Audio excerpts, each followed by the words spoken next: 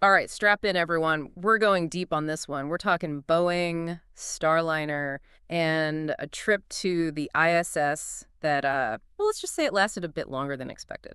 Yeah, this one's got it all, really. Hmm. You've got technical snafus, a media frenzy, and even some uh, interesting opinions from certain former presidents. We're talking NASA press releases, a deep dive from CBS News, and even some updates straight from Boeing. Should be interesting to see how those perspectives line up. What I find interesting is how this whole thing really throws a wrench into the whole space tourism is just around the corner Hmm. narrative. Like, it's a stark reminder that space is still incredibly challenging and unforgiving. Yeah, absolutely. No room for error out there.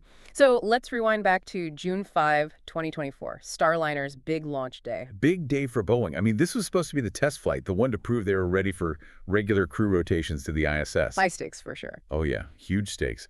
After all the delays and setbacks they had, this is their chance to show they could deliver. And on board, you had Butch Wilmore and Suni Williams, two seasoned astronauts, all set for what should have been a pretty routine 10-day mission. Right. A quick trip up, a bit of science, and back home.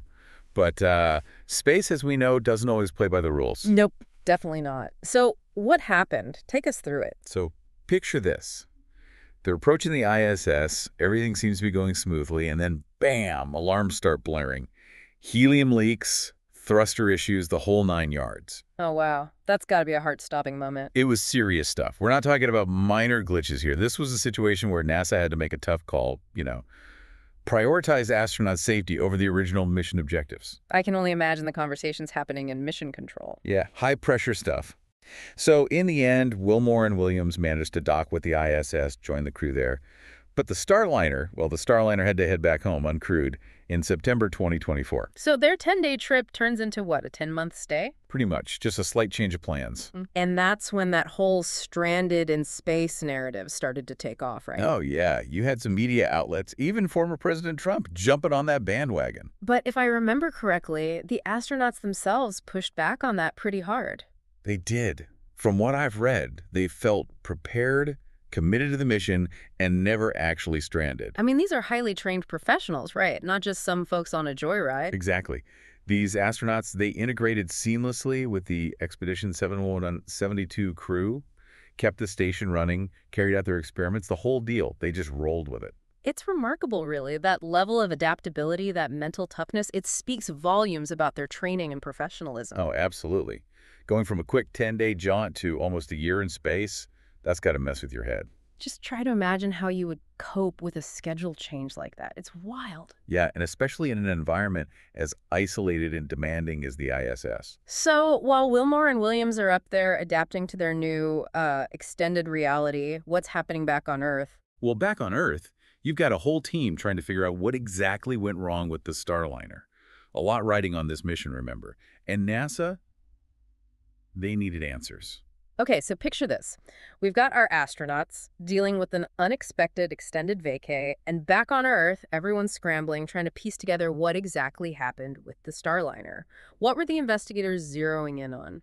Well, the big things were those helium leaks and those thruster issues, right? Mm. Those are the red flags. And to understand what went wrong, you kind of got to picture the Starliner's propulsion system. It's this whole network of valves and pipes that control the flow of helium, and that helium is what pressurizes the fuel and oxidizer tanks. So the helium, that's what gives the thrusters the oomph to, you know, move the Starliner around. Exactly. Think of it this way.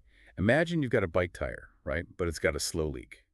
You can still ride the bike, but you're going to lose power, lose control. And that's kind of what was happening with those helium leaks on the Starliner. The pressure was dropping, which meant less force to, you know, actually propel the spacecraft. Okay, that makes sense. But weren't there also some problems with the thrusters themselves? Right. Yeah, there were some definite issues with the reaction control thrusters. And those are like the smaller thrusters, the ones that let you do those fine-tuned maneuvers like rotating the spacecraft, adjusting its position for docking, that kind of thing. Mhm. And it turned out several of these thrusters just weren't delivering the thrust they were supposed to, which is a big problem when you're trying to, you know, dock with a space station moving at thousands of miles per hour. Yeah, no kidding.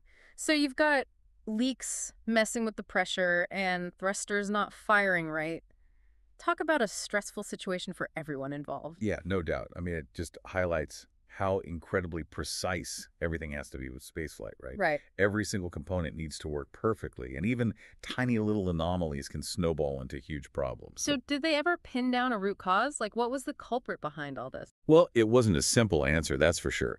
NASA and Boeing, they launched this massive investigation. I mean, they were poring over telemetry data, running ground tests. They even had astronauts simulating the mission in those big simulators. They were determined to get to the bottom of it. Absolutely. And they did uncover some interesting things. One problem they found was with this tiny Teflon seal. It was inside those reaction control thrusters.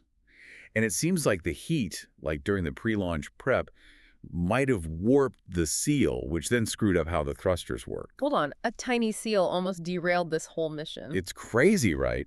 It just goes to show how complex and interconnected all these systems are. It's not always some big, obvious thing that causes a problem. And with those helium leaks, well, it turns out they trace those back to a few things, like how some valves were configured and maybe even some contamination. So it was like this perfect storm of little issues that created this big, hairy problem. So what does that mean for the future of Starliner? I mean, can they bounce back from this? That's the million-dollar question, isn't it? I mean, it's definitely a big hit to Boeing, to their space ambitions. You know, their reputation takes a hit. People are questioning whether they can deliver on their promises to NASA. And then there's the financial side of things.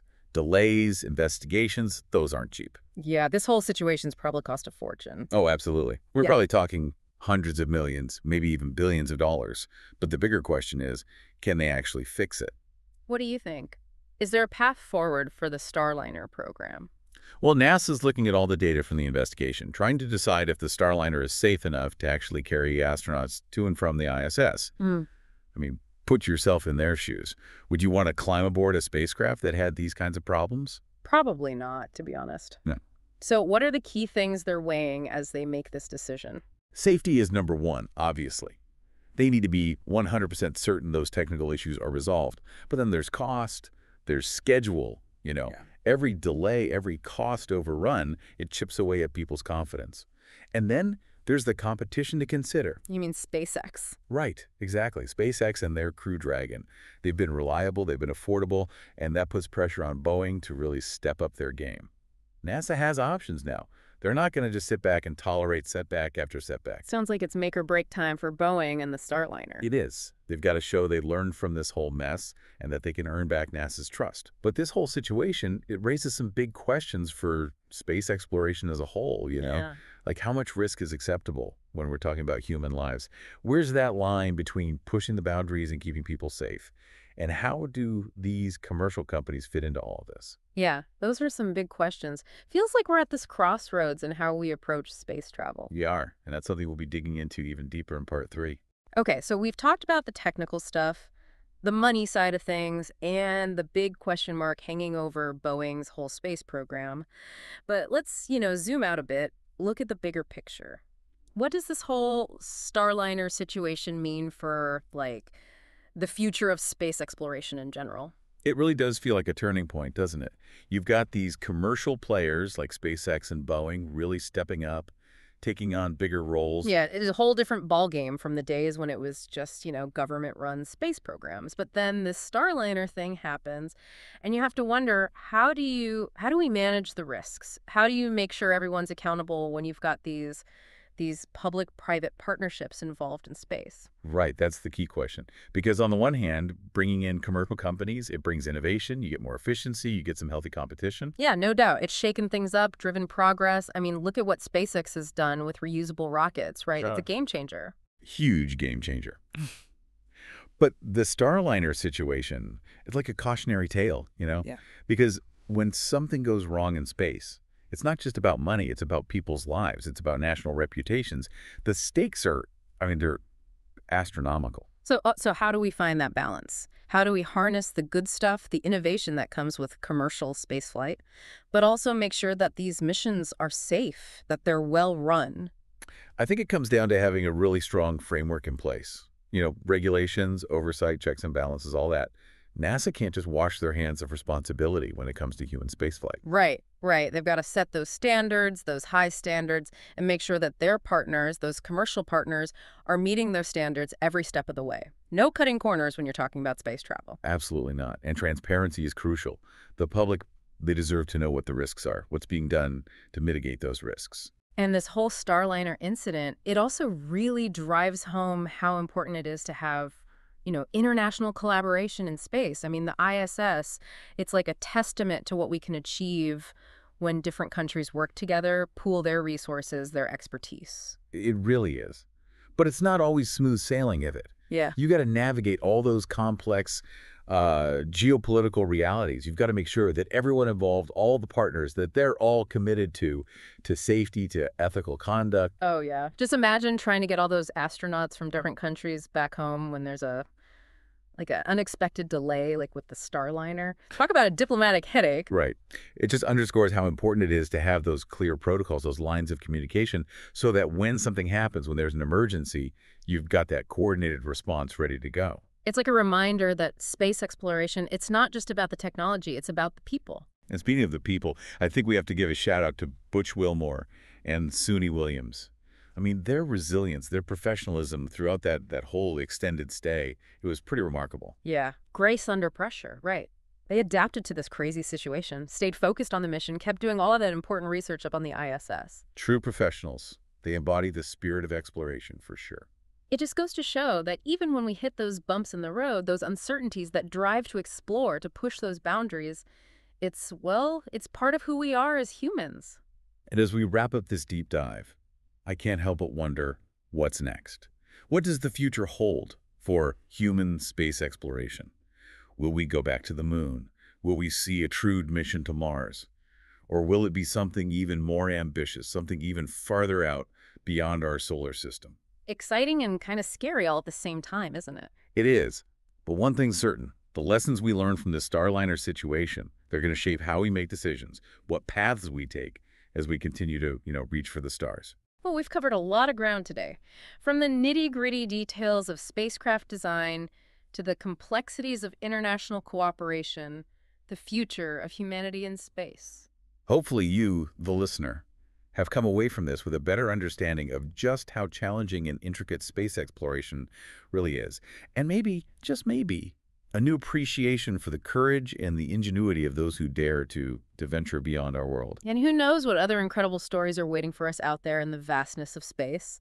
But one thing's for sure, we'll be here to break them down for you, one fascinating detail at a time. So until next time, keep looking up and keep exploring. This is The Deep Dive, signing off.